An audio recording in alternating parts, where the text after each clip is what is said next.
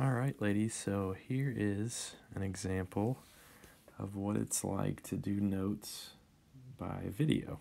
Uh, so, uh, you know, uh, you'll have your uh, notes from class, hopefully, that you can get in front of you, um, and you'll just follow along in this video and fill in the blanks whenever you have them.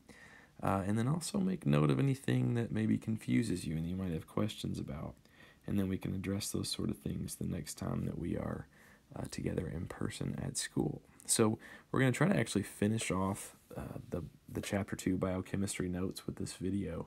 Um, uh, but we do have several topics to consider. Uh, we need to look at water, we need to look at acid and base chemistry, we need to look at organic chemistry, which deals with your carbon compounds in the body, and then we're going to wrap things up with chemical reactions and enzymes. So if we start with water, uh, you know, water is incredibly important, right? It's it's what some people would say is the most important chemical on the planet, uh, and it's probably no coincidence that roughly two thirds of the planet is covered in water, and roughly two thirds of your body is water. Uh, so it is highly critical. Uh, remember that it's it's not one of the characteristics of living things necessarily, but uh, it is pretty much just as important as any of those things. Uh, now Water has a bunch of different chemical properties that are essential to living systems. And this could be something that's very internal or it could be something that's very external. So, for example, an external kind of consequence of water is that uh, it uh, floats when it freezes, right? Solid water, aka ice, is less dense than liquid water, which means ice forms at the top of a pond versus from the bottom up. Now, why is this a good thing? You may have never really thought about this before, but when you have a pond, right, and it's got um, some little fishies in it, right? I'm really bad at this. Uh, you know, these guys, they don't like die off every winter. Uh, you just form a layer of ice at the top, which actually sort of insulates the fish below they make it through the winter if it's really cold, and then that ice melts back off when it's warm again, and the fish are back and they're bigger and stronger than ever. If ice froze from the bottom up, you'd just see a bunch of dead fish laying on the surface of a frozen pond, and you would have no life in that pond come the next spring. So, this is an extraordinarily important characteristic for marine life. Uh, but it doesn't have anything to do with the water inside of them. It's all about their external environment. Now, for humans, most of the characteristics of water that we care about have to do with the water inside of us. And the thing is, water has a lot of unique characteristics because water is a polar liquid. Now, what does this mean? So, polarity is something I've found that sometimes confuses students, and certainly if it is something that they heard about in seventh or eighth grade, they don't feel very confident about it usually when they come into high school. So, uh, to understand polarity, you have to understand the structure of water. So, a water molecule, as seen in this picture over here, is a single oxygen atom combined with two hydrogen atoms. And we always say that a water molecule is bent. Um, that has to do with a little bit deeper chemistry than we're worried about. But the hydrogens tend to kind of sit on one side of uh, the molecule or one side of that oxygen atom. Now, when we look at oxygen, it has eight protons in its nucleus, so eight positive charges. And hydrogen just has one proton in its nucleus. So one positive charge.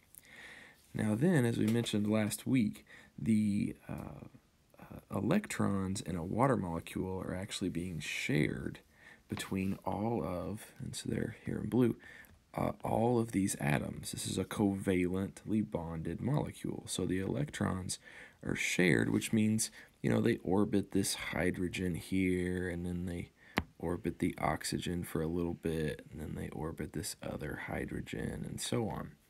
Um, but here's where polarity comes in. The electrons are actually more drawn to this, uh, do a dotted line here.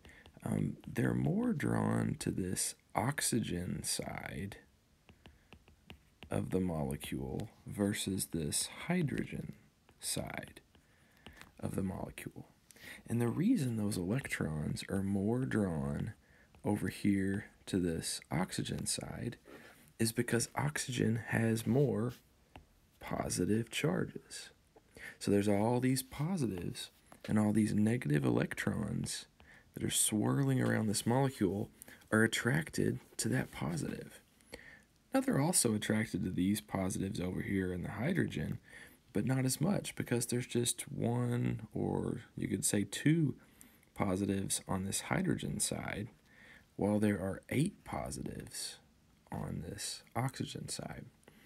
The really silly analogy I've used in the past is if you came in in the morning and you could choose between two classrooms, and in one classroom were eight incredibly attractive men, and in the other classroom were just two incredibly attractive men, you probably go to the classroom where there's eight of them, right?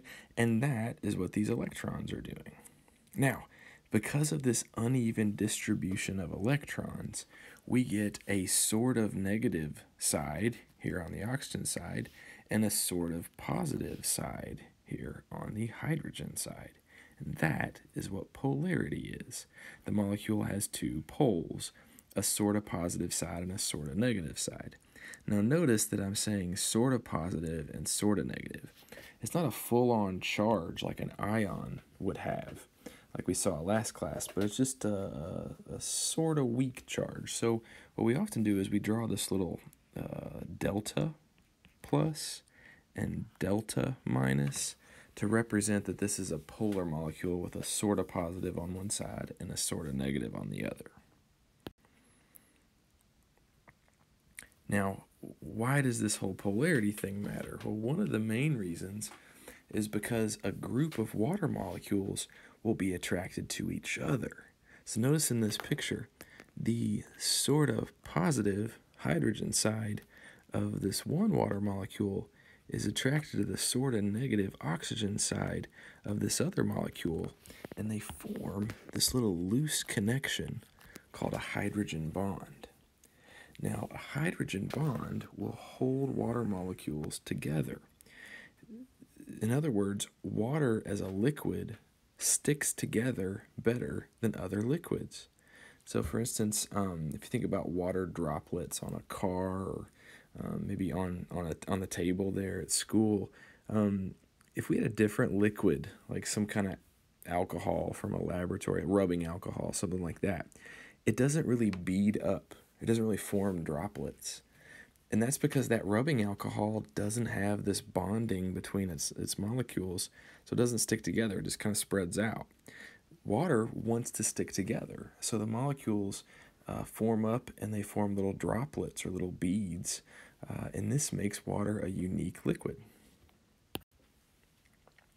Now, something else that you see because of these attractive forces between water molecules are uh, these characteristics of cohesion and adhesion. Cohesion is a general term which means attraction between molecules of the same type. So in this case, we're talking about water being attracted to water. Uh, a lot of times I like to think it's like cohesion. If you're co-captains of a team, you're on the same team, right? So cohesion are water molecules, the same type of water molecules, uh, attaching to each other. This is why, again, water forms tight droplets. This is why water has surface tension. Right? Anybody who's ever belly flopped really good in a pool is fully aware of surface tension. Um, you know, we are massive creatures, and I'm not calling you fat, I promise. It's just that, that humans were pretty large. And so it's not hard for us to say, you know, plunge our hand into a pool of water. But what you want to realize is that water really does have a pretty pretty good surface at the top of it. And again, like I said, if you've ever belly flopped in a pool, you felt that water smack you in the gut.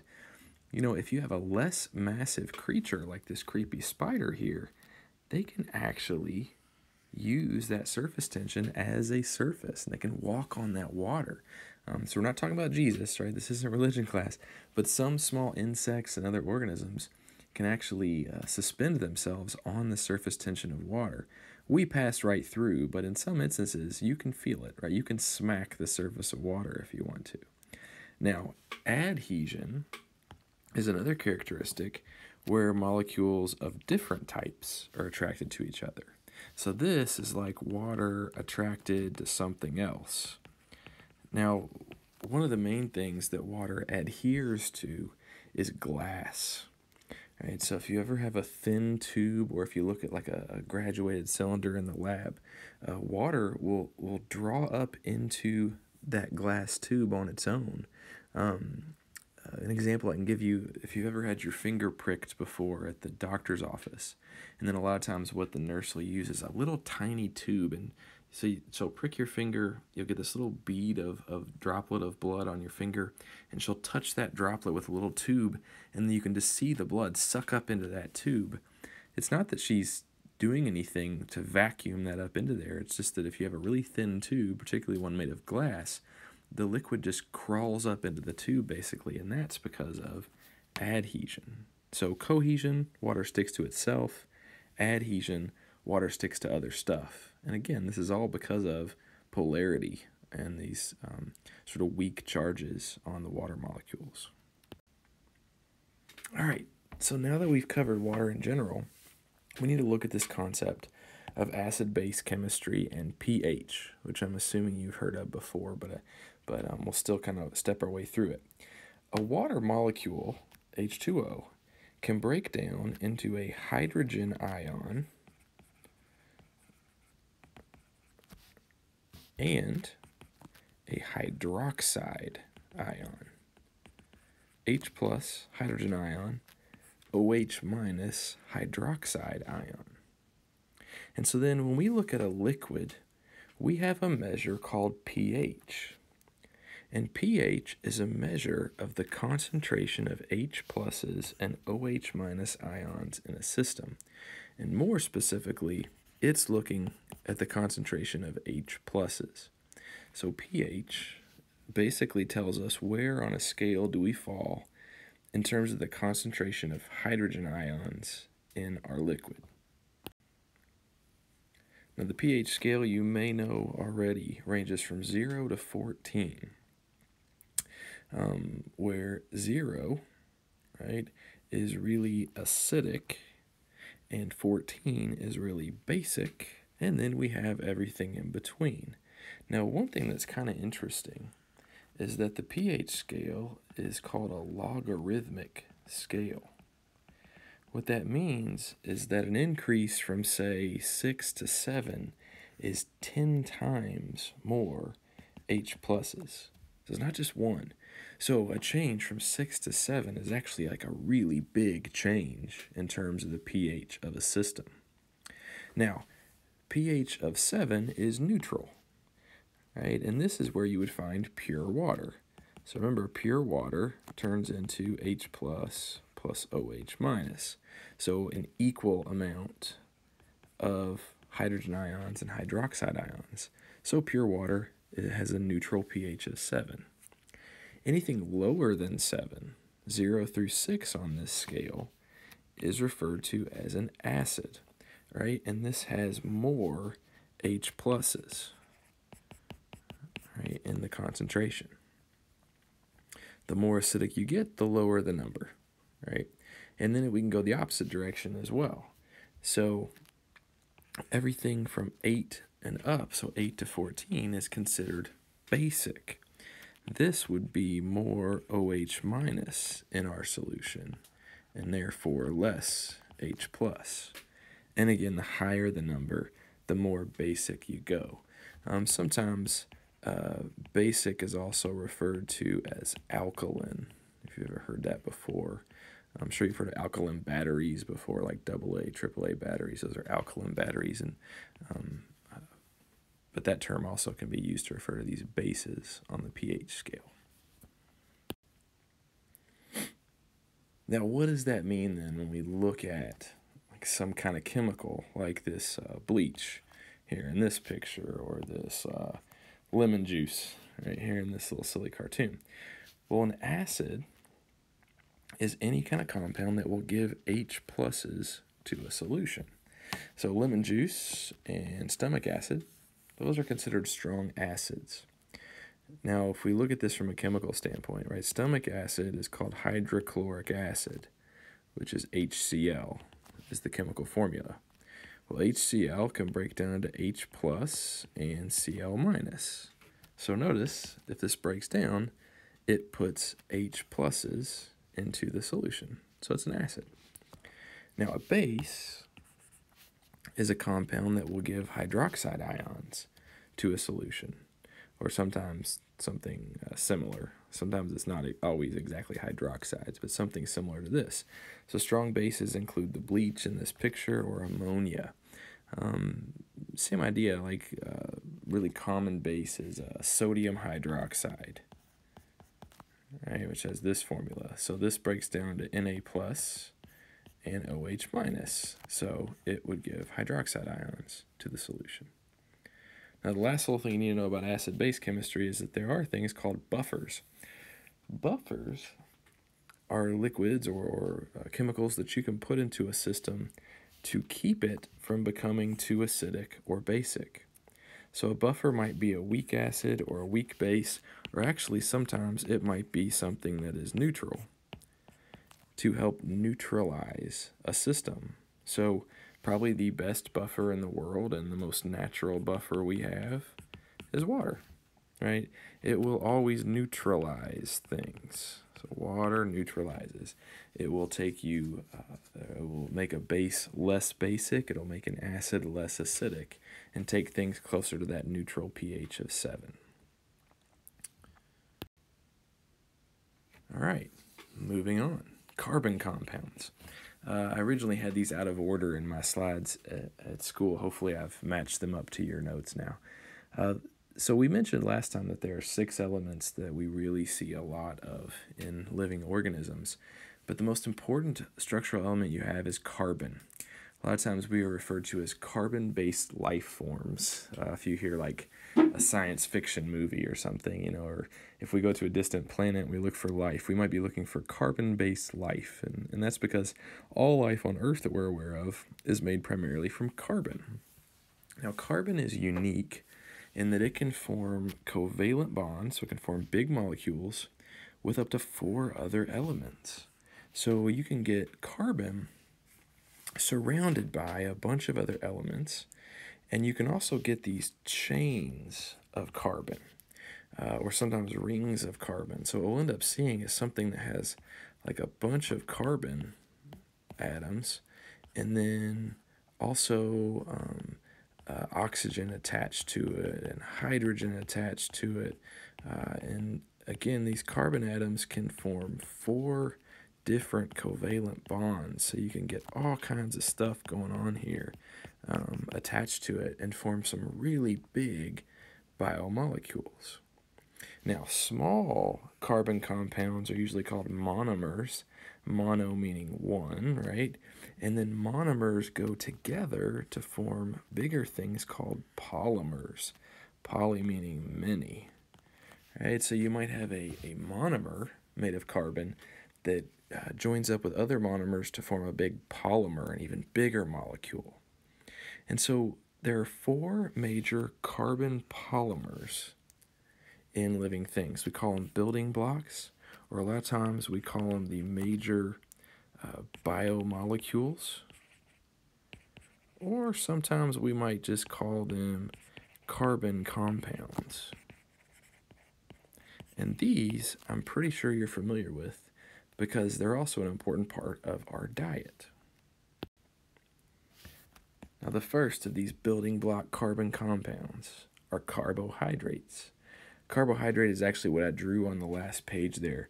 They might be big chains like that, or they might actually be a ring of carbon uh, that looks something like this, with then other stuff attached to it as well. Uh, but carbohydrates are always just made out of carbon, hydrogen, and oxygen, and they are referred to in science as sugars.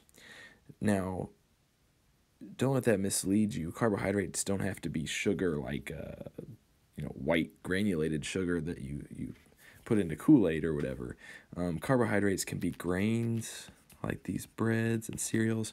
Carbohydrates are really high in fruits and vegetables. Um, they're they're in you know pasta, but they're also in sweets as well because sugar is is a carbohydrate. But the main function of carbs in your body is as a source of energy. So you eat carbs to get energy. You also store carbs in your body to use later as energy. Uh, and then sometimes carbohydrates can be structural as well. Uh, they're very structural in plants, uh, where like the cell wall is completely made of carbohydrate. Now, the second major carbon compound building block is protein. Protein is made up of smaller units called amino acids. So, a lot of times, what I would say is like the protein is like a house, and the amino acids are like the bricks that you use to build the house. Now, amino acids are carbon, hydrogen, oxygen, but then also some nitrogen. We also sometimes see some sulfur mixed in there too. Uh, these are uh, also a source of energy, a secondary source of energy, but mostly they're used for structure, building structures, right? Your uh, your muscles are made of protein. Your skin is mostly protein. Your hair and nails are entirely protein. Uh, so um, you know, most of the structural integrity of the body is based in proteins, but they also function in controlling chemical reactions when they serve as something called enzymes, and we'll get into that more here in a little bit. Uh, but protein, good sources of protein are um, egg white, right? The yolk is, is fatty, right? But the egg white is protein. Meat is protein. Uh, nuts, like peanuts, cashews, those are good sources of protein as well. Third thing is lipids, right, or fats. Uh, lipids, as pictured here, these are uh, these are called adipose cells, which are little fat storage cells in your body. Uh, lipids are made out of carbon, hydrogen, and oxygen. This is the way that your body stores energy. So these aren't the best source of energy. That's what carbohydrates are. But this is a way that your body stores energy long term, uh, is in fat stores. Uh, these also make up cell coverings and serve as waterproofing mechanisms in your body. And so when we come back to cell structure, we'll talk a lot about membranes, and those uh, require lipids to be formed. And then the fourth and final one here is nucleic acids, which we'll also get into much more later this year. Uh, these are carbon, hydrogen, oxygen, nitrogen, and also phosphorus. And this is your DNA, right? So the nucleic acids are, are not dietary, right? This is not something we worry about eating, um, but they are involved in your genetic information. So you use nucleic acids to build DNA. Okay, review time right? Label each of the following as an acid or base. So take a look at this for a second. Bleach. Can you remember? Did we say that was an acid or a base? Did you say base? You are so incredibly smart. Okay, how about the stomach? Your stomach contents are really, really acidic. You're right. Good job. And then lemon juice. Yeah, you remember that fun picture we had. That's an acid as well. All right, it's the last portion of the notes here I have to deal with chemical reactions. You may, if your previous teachers liked chemistry, have learned a lot about chemical reactions.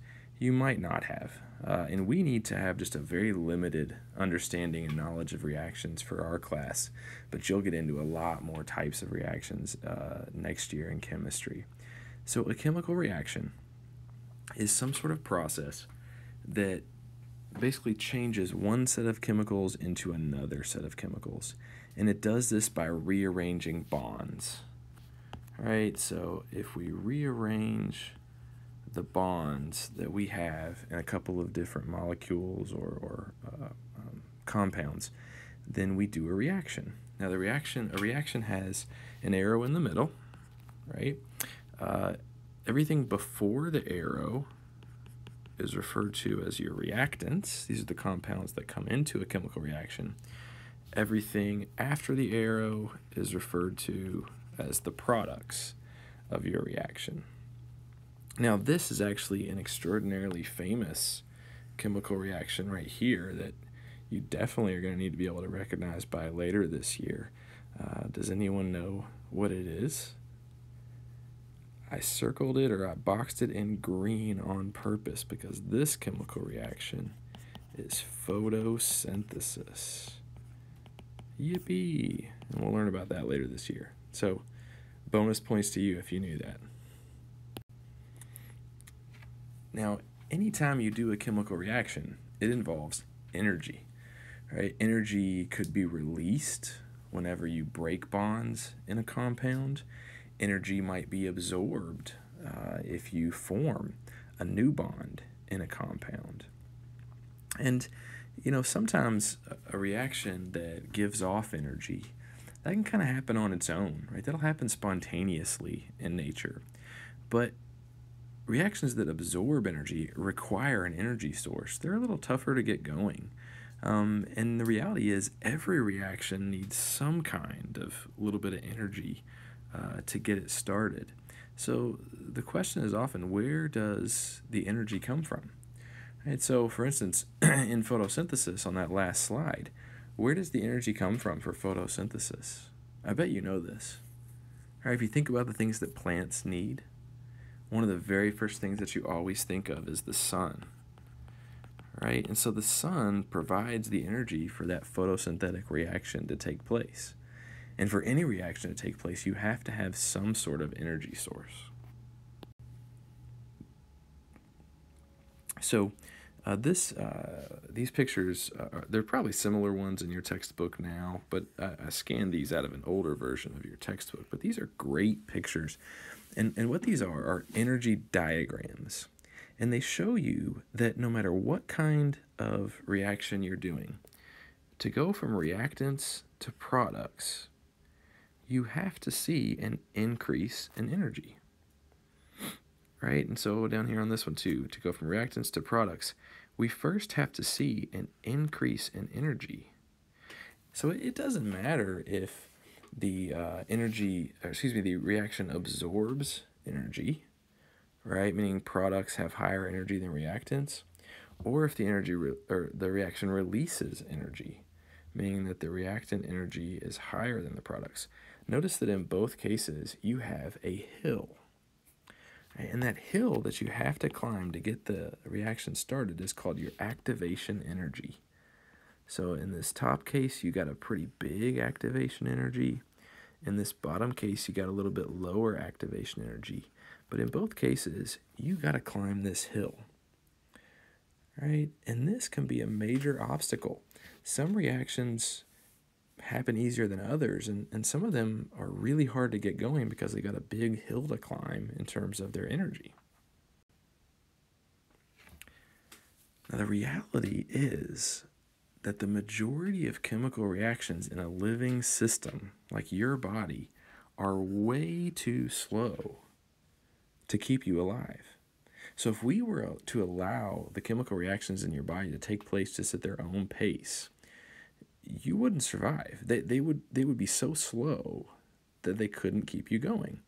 So we need what chemists call catalysts, substances that speed up chemical reactions. And now you get the picture on the slide. Get it? Catalysts. Um, now, a biological catalyst is referred to as an enzyme. So in chemistry, they talk catalysts, and catalysts can be all sorts of things. They can be metals, they can be uh, other stuff. But in biology, when we talk catalysts, we only talk about organic catalysts, things made of carbon, right? And those organic catalysts are referred to as enzymes. And these are proteins that serve as catalysts. They speed up reactions in a living system. Now, enzymes are incredibly important. Uh, they're a much bigger part of my uh, upper level classes, my biomed class, my AP class, because enzymes are the key to understanding so many ideas in complex biology. But for us, we're just going to take a really simple approach and we're going to get the basics on what an enzyme is. Um, and so basically, an enzyme helps a reaction take place.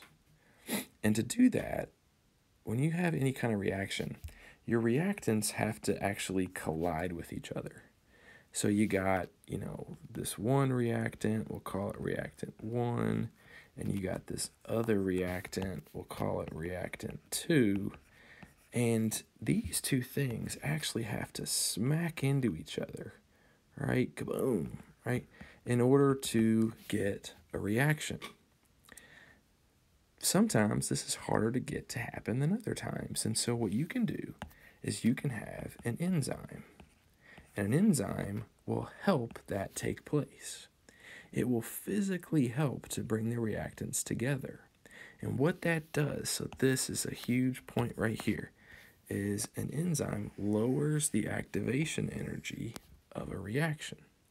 So notice this picture up here. Here's an energy diagram again, like we saw earlier. The blue line, right, is without an enzyme. And you can see that this hill is pretty big, right, that you have to climb. The red line is the reaction with an enzyme. And so you'll notice that that is a much smaller hill to climb. Look at how much smaller my red bar is here versus my blue bar. So we lower this hill and it makes it easier for the reaction to take place. The analogy I always give is, is if I'm at the park with my kids and they're trying to drag a wagon up a hill, I don't know why they would do that, but they're trying to drag a wagon up a hill. If I'm an enzyme, I don't help them pull the wagon. I come back with a bulldozer and I make the hill smaller so it's easier for them to get over the hill. That's what an enzyme does. And it does this, like I said a minute ago, in a really physical way. An enzyme has a binding location called an active site. And the active site basically grabs your two reactants and helps bring them together so that they will actually collide. So a lot of times too, I think of an enzyme like a matchmaker, right? If you're that person who's always looking out for your for your best friend and trying to find a, a cute dude for her to go to the movies with and, and and you find this cute guy and you find your best friend you bring them together right? Uh, you don't just suggest they go to the movies. You actually pick them both up and and you all go to the movies together. So you physically bring them together. You're enzyming right? You're making it more likely that those two people are going to collide with each other um, and come together Now, a human example, going back to something we mentioned on the first day of these chemistry notes, and that is that uh, we need to get carbon dioxide and oxygen in and out of your bloodstream, but those are gases and, and they don't dissolve well in the bloodstream. So when your cells create carbon dioxide as a waste, and we have to get that carbon dioxide to your lungs, we got to transfer that CO2 from the tissue, like you see here, into your bloodstream. Now, what we do then is we don't just throw the carbon dioxide in. What we do is we combine carbon dioxide and water to form a soluble compound called carbonic acid, H2CO3. Now, carbonic acid is really soluble in blood. It, it likes to dissolve in the bloodstream. So it travels in the bloodstream. When you get to your lungs, we reverse that reaction, boop, go back the other way, and the carbon dioxide can be released as a gas and exhaled out of your body. Okay, so that's a reaction that has to take place. But again, if we waited for that reaction to take place naturally, it would be way too slow and you would essentially asphyxiate, right? The carbon dioxide would not get out of your body fast enough and it would kill you. Luckily, you've got an enzyme, right? So instead of allowing that carbon dioxide to build up inside of you, you have an enzyme in your blood called carbonic anhydrase. I know that's a mouthful. Carbonic anhydrase. But carbonic anhydrase makes that reaction on the last time or on the last slide go 10 million times faster than the reaction would go on its own. So I uh, put these little pictures here. This is like taking a rowboat and turning it into a crazy fast speedboat. Right, we take this reaction that's really slow and carbonic anhydrase can make it really, really fast. Now, while we're on this slide, just a, a note. Enzyme names almost always end in ASE. So if you see any kind of chemical and it's something, something ASE, that's a good indication that you are talking about an enzyme, like we see here, carbonic anhydrase. All right, so I know that's a lot. Again, think about questions you might have. We'll kind of recap this stuff in class, and then we'll move forward and learn these principles better by doing a few different uh, labs. Thanks for listening.